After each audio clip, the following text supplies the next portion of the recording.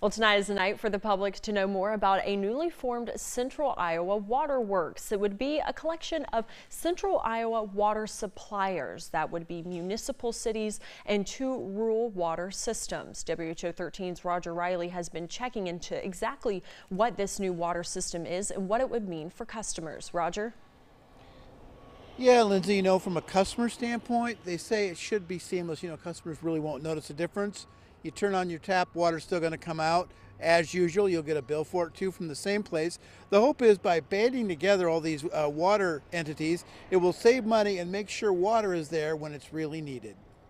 You know, the main thing driving this is that the suburban communities now um, consume or we buy 55% of the water produced in the metro. So Des Moines Waterworks says they're not the main customer anymore. And so the suburban communities want to have a, more of a voice in how retail rates are being set. Uh, that's Christina Murphy of the West Des Moines Waterworks. She said the new utility will be the like the wholesaler, getting the water and delivering it to the cities. The cities, for example, in West Des Moines would still send a bill and fix a broken water main. Uh, the hope is that this will have water redundancy, so there's always a supply to help the region to plan. And for the long term, as the metro grows, they'll also be uh, projecting a money savings by this move. Ted, Ted Corrigan is the CEO of the Des Moines Waterworks. He said there are three main reasons behind this idea of the Central Iowa Waterworks. And one is best management of the available water resources. Two is fair and equitable distribution of the costs of producing water and three is really resiliency, making sure that we're able to provide water to everyone when they need it.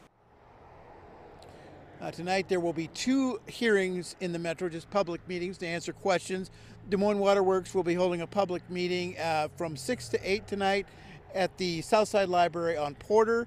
Over in West Des Moines, their meeting will be from 6.30 to 8, and that will be at the Valley Junction Activity Center there at 217 5th Street in West Des Moines. So if people want to know more, uh, there'll be some more formal proceedings later as they get this organization off the ground. A lot of questions to answer. But the bottom line is they're trying to plan for a growing metro and make sure there's water and at a good price that everybody uh, agrees to.